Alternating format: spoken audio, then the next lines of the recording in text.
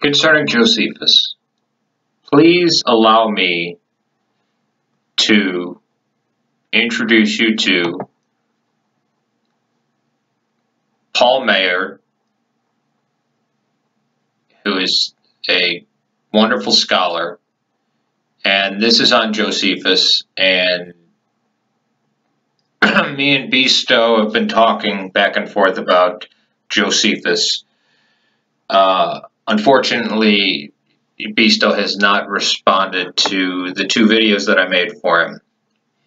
Here's about a 10 minute segment of someone who is not me, who is not of my denomination, who is giving one of the he's a far better speaker than me and his uh, well listen and marvel basically but so does Josephus, the first century Jewish historian, never turned Christian, but he writes sober history as he sees it. He also reports John the Baptist's execution exactly like the Gospels do.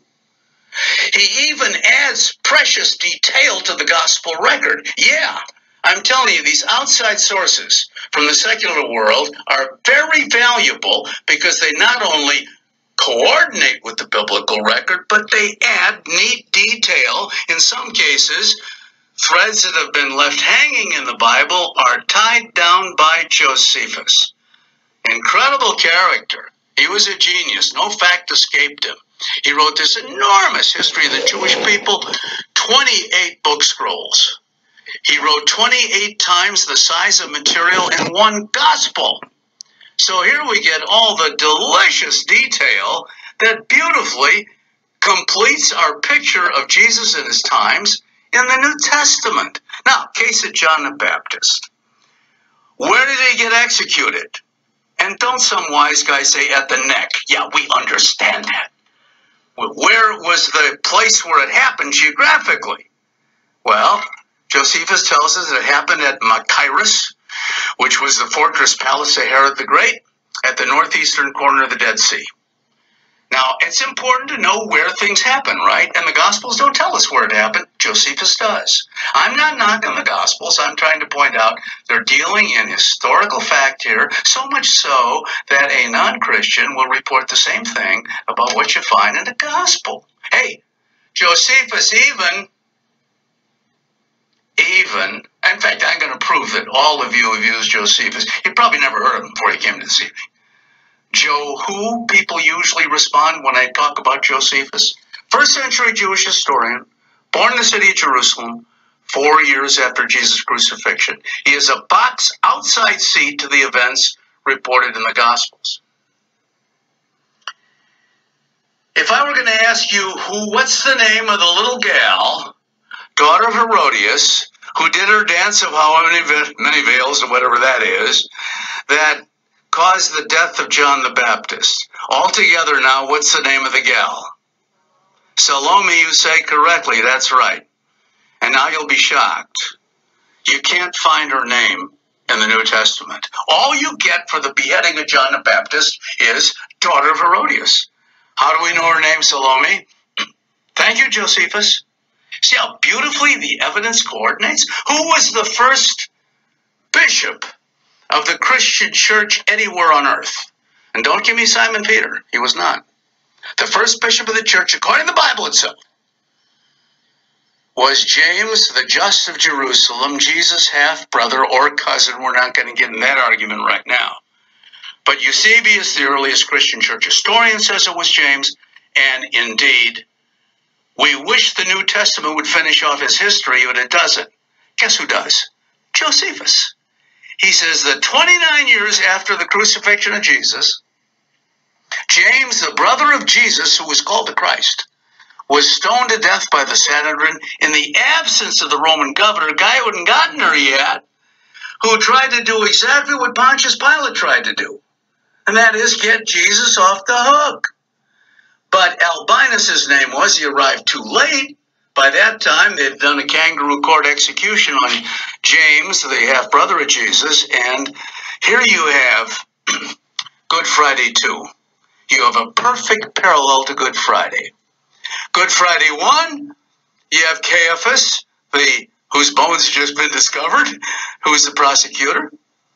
In 62 AD, 29 years later, you have Caiaphas's brother-in-law, Ananus, uh, who again see, saw that this stoning to death was kind of railroaded. But here you have again a perfect confirmation, a perfect mirror of what happened on Good Friday. And by the way, the second one was by a Jew who never converted to Christianity, so he's not some sweet gospel writer trying to make the New Testament look good. This authenticates the evidence even more strongly. And of course, in the famous passage, Antiquities, Book 1863, Section 63, Josephus gives us the longest reference to Jesus in first century sources outside of Christian literature. Is in the middle of the reign of Pontius Pilate. And by the way, Josephus gives us about five major episodes in the life of Pontius Pilate, which are not in the Bible and they're real. They happened. They explain why Pilate is acting so strangely on Good Friday, why he seems under pressure. Here's the answer Josephus gives us. This guy has not been mined enough for all the gold nuggets there inside. So, anyway, right in the middle of Pilate's administration, he gave this wonderful testimony to Jesus almost in Christian language. In fact, it was too good to be true. Yeah. My colleagues in the ministry or in the rabbinate will know that uh, everybody agrees that passage had been interpolated. Somebody thinking to do God a favor took a perfectly decent passage on Jesus and baptized it, made it too Christian for words. Uh, the passage read something like this About this time there was a wonderful man if indeed one ought to call him only a man, he was the Messiah who rose from the dead. Now, look, a good Jew would never have written that and stayed a good Jew. He would have been a Jewish Christian, like Paul at Tarsus. So we were told never to use that uh, in the, at the seminary.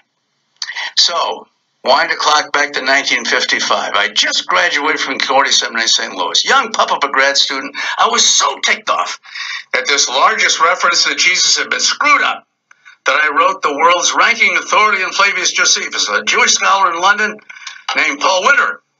And I asked Dr. Winter two questions. One, do you think that Josephus ever referred to Jesus? Because the critics were saying, throw the whole passage out. Second question If you think he really referred to Jesus, how do you think the passage read? Three weeks later, got an airmail letter. This does nothing for you people, either instant messaging. I know, I know. They cut me some slack 55 years ago. Okay. Uh, Answer to the first question, yes, he was quite sure that Josephus was referring to our Jesus. Second question, using his good textual critical skills, he prized away what he thought was a Christian uh, addenda by some stupid monk in the second century or something, and uh, gave me a version that I thought was very convincing. Tragedy. Paul Winter died before he ever learned how close he had come because the great good news is that another great Jewish scholar, uh, Shlomo Pines of the Hebrew University of Jerusalem, discovered a manuscript tradition of Josephus that was not interpolated at that point. It reads almost word for word like what Paul Winter predicted it would read if they ever got the accurate manuscript. So in my translation of Josephus, that goes back in the text. And it's only at the end of the chapter that we have the rather Sunday schoolish, laundered version that we can't accept. And that is a very fair outside view of Jesus by someone who didn't necessarily believe in him, but he's trying to write fair history. Goes something like this. About this time, there was a wise man called Jesus, and his conduct was good, and he was known to be virtuous. Many people among the Jews and the other nations, the Goyim, the Gentiles, the other nations, became his disciples. Pilate condemned him to be crucified and to die. But those who had become his disciples did not abandon their discipleship. They reported that three days later he uh, emerged from the tomb alive. Now, Notice he doesn't say he rose from the dead. He said they reported that he rose from the dead. See, that's the New Testament says the same thing. So he's trying to be fair. That's something a good Jew could have written. That he ends up by saying, uh, accordingly, he could possibly have been the Messiah, concerning whom the prophets have reported wonders, and the tribe of the Christians, so named after him, has not disappeared to the present day. So this is what he actually wrote. And so it is brilliant outside testimony for like the historicity of Jesus, and there are five other major references, about 12 in all, but five other major references in secular literature about Jesus. So how somebody can come along and claim that Jesus was only a myth, I shall never know. Uh, just quickly to tick them off. Cornelius Tacitus, first century historian, he writes from the second century into the first, gives us a year by year account of what happened in ancient Rome. And for the year 64, he reports the great fire of Rome happened under Nero's administration. And Nero's throne is tottering because it happened on his watch. So, to keep from being overthrown, Nero then has to search for other scapegoats, and he lands on the Christians. First time they show up in secular history. He says, Christians are named, careful scholar, he says the Christians are named for a Christ who was crucified by one of our governors, Pontius Pilate. And the pernicious superstition was almost eradicated, but suddenly it gained new vigor again. You want an outside proof for the resurrection and Pentecost? There it is. Suddenly it gained new vigor and even flowed as far away as Rome, that common cesspool into which garbage flows from all over the Mediterranean. So here's a hostile source, doesn't like Christianity, so much garbage. But that very fact alone proves that his concession that there was a Jesus crucified by Pilate and had followers is absolutely authentic historically because it satisfies the great criterion of embarrassment. Hey, I'll get over these sidebars in a second, but listen, I got to give you a couple sidebars here on how does a professor of ancient history figure out if something claimed 2,000 years later really happened? The guy may be padding a story, maybe telling a fairy tale. We know the ancients love to pad their numbers, the historians. So, how do we know that a fact claimed by an ancient historian is true. There are 12 tests, but two of the biggest. First is the criterion of multiple attestation, meaning, are there a lot of different sources not copying from one another that agree that this happened? Then that's a pretty firm. I mean, a lot of people say Julius Caesar assassinated Ides of March, Julius Caesar, and it keeps going around. And yeah, probably happened. The other one is the criterion of embarrassment. You're arguing in a given direction, and yet you come across evidence that contradicts your thesis. But you got to admit it because everybody knows it's true. But you build a wall around it trying to explain it away, right? Then, 2,000 years later, that problematical counter evidence is absolutely authentic. See it? See, otherwise, they wouldn't have been bothered to defeat the argument. So here in a hostile source, it would have been in their interest to shut up about Jesus entirely. Tacitus thinks there's so much sewage. But he was an honest historian trying to figure out where this crazy sect started, okay? This is pretty overpowering evidence. Tacitus alone would prove the historicity of Jesus, but we have more. Suetonius, another famous Roman historian, writes uh, Lives of the Twelve Caesars, gives quite a bedroom history of them and so forth. Uh, it was a bestseller in the Middle Ages. Do you want me to keep going? Um, I mean, I can. I've been talking about these sources for 10 years, uh, but this man speaks far more eloquent than me way. Um, that's the way it usually goes. But he says in the reign of Claudius, there was a big uh, demonstration riot in the Trans Tiber area and Rome over the claims of Christ. Yeah. Pliny the Younger, governor of Asia Minor, he was uh, across from the Bosporus on the Asiatic side of Istanbul. That's where Bithynia is located, northwestern Turkey. He writes the Emperor Trajan about the year 110, and he says, uh, Dear Emperor, what do I do about these Christians? They get up, get up early Sunday morning and they sing hymns to Christ as if he were a god. You know, so much for Dan Brown's claim this happened at the Council of Nicaea. Uh, 225 years later, uh-uh, early on. What do we do about them? They're against the law, aren't they? We got Trajan's answer. He said, Dear Pliny, yes, the Christians are against the law. And so, if you can make a perfect case against them, I guess the law's got to be followed. But don't go hunting them out.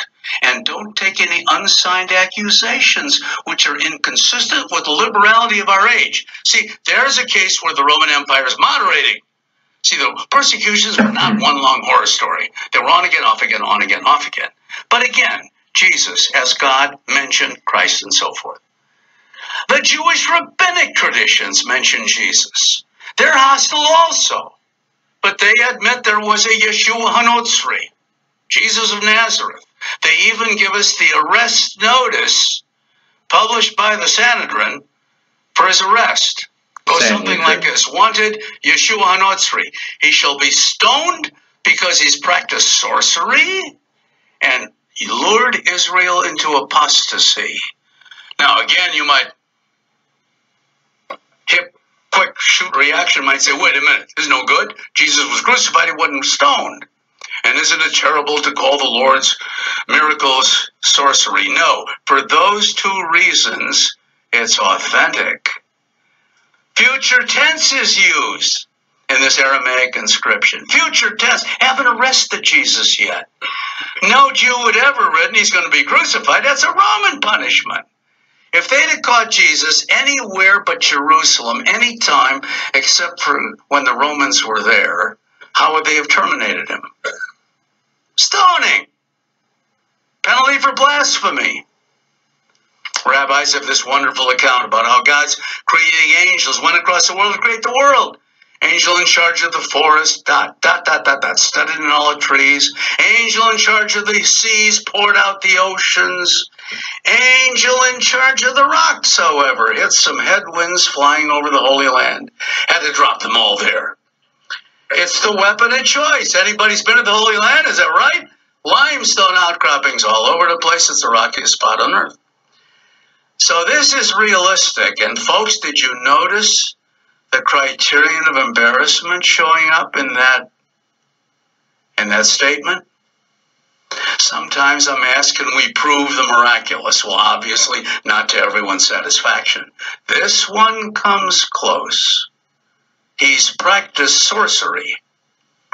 Now, wait a minute. Wouldn't it have been simpler for that hostile source not to mention that? Because sorcery and miracle are the same thing if you're not talking cause. A miracle is something extraordinary or supernatural help from above. Sorcery is the same thing with help from below.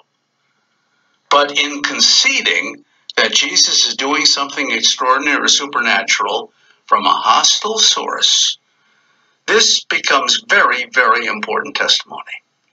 And I will. So um, there, there's a lot more um, that